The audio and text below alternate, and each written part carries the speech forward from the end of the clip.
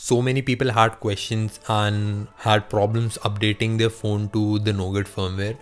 I've already made some videos on the updates, but I will try to explain everything clearly in this video. So there could be two possibilities. Either you are on the soak test firmware or you are on the official marshmallow firmware.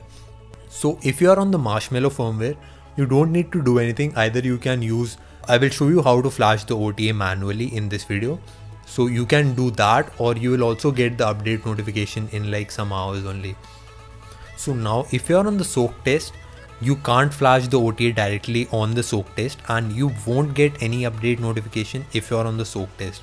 And people asked me if uh, the previous video was official. Of course that was official because i received it myself and i uh, uploaded that to google drive and i showed you how to manually do that. So if you want to check if you are on the soak test or not, the new updates boot animation is different or if you have upgraded before December, then you're definitely on the soak test. The soak test is the Nougat firmware only, but it was a testing firmware by Motorola. Many YouTubers claimed it that it was official, but it was not. I didn't make a video on the soak test because I knew it was not official. So if you want any other videos for Moto G4 Plus, stay subscribed on this channel and I will also make some other Android content that you might find useful. So if you are on the soak test firmware, you'll need to downgrade from the soak test firmware to the marshmallow firmware. To do that, I have made a video on it. So you can follow that. It works perfectly fine. You just have to follow the steps one by one. So after you have downgraded from the soak test to the uh, marshmallow firmware, this is the official marshmallow firmware and it works perfectly fine you will receive the OTA directly and if you don't receive the system notification you can manually update or you can either wait for the update notification to come to your phone. Even if you upgrade your phone from Marshmallow to the official Nougat firmware, the December update, not the soak test, the December firmware, you will receive updates from Motorola. So you don't have to worry about that. You will however need your bootloader to be unlocked before you downgrade your phone. So why did some people get it before and some people got it afterwards? This is very normal and ha happens with all other Moto Gs and all other phones as well.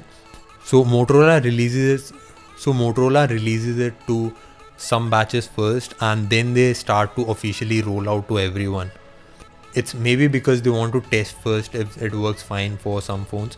I don't know the exact official reason, but that's how it is. So I will show you how to unlock your bootloader.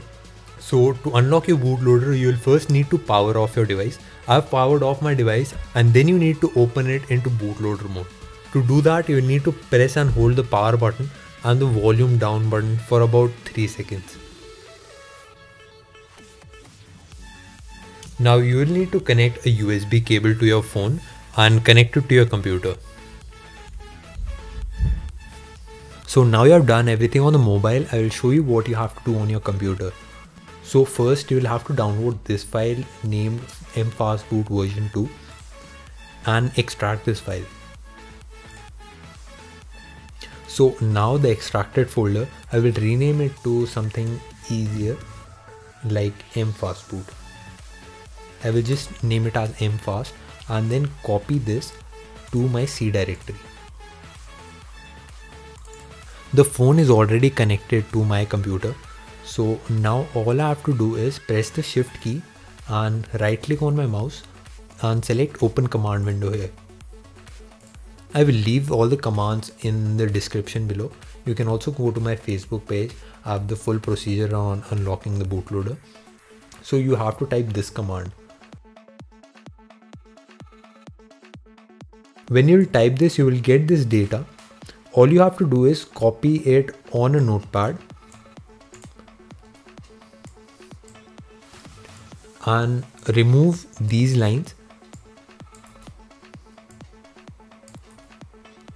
and remove all the spaces also. Now this is your unlock key. You'll have to use this unlock key to unlock your mobile. So head on over to the Motorola website. I have the link in the description also. I'm already signed into this. If you're not, you can quickly use your Google account to sign in. And then Motorola also has the same procedure on their website. You'll have to paste the unlock data here. and after that click on can my device be unlocked so you'll just have to agree and request unlock key this will show you that uh, you'll void your warranty. Now all you have to do is open gmail and here you will get the unlock key sent by motorola. This will be unique for every phone. Now what you have to do is type m fastboot oem unlock and uh, you'll have to give a space and then type your unlock key I've already unlocked my device so I don't need to do it again but when you press enter your device will be unlocked. So unlocking your bootloader will void your warranty and delete all the data on your device. So that's it for unlocking the bootloader. Let's move on to the other procedures. So guys, after you have downgraded your phone from Nougat to Marshmallow, so to make this video, I also just upgrade my phone to the soak test Nougat and then downgrade from there. Now as you can see, I am on the official Marshmallow firmware. As soon as I downgraded, I got the system update notification. You can either click on this notification and upgrade your phone using this or if you didn't get this notification you'll first have to copy this OTA file onto your internal SD card and then power off your phone you can use the system update notification to update and it would work just fine. But if you didn't get the notification you can do it this way. So you will have to power off your phone. And after that open it in bootloader mode by pressing the power button and the volume down button and holding them. Yeah now you are in bootloader mode. From here you have to go to the recovery mode. You can use the volume buttons to browse between the different options and to select you will have to use the power button. So I'll select recovery. So now it will show you something like this. To go to the actual recovery options, you'll have to press and hold the power button for around 2 seconds and then just tap on the volume up button. And from here you will have to apply update from SD card.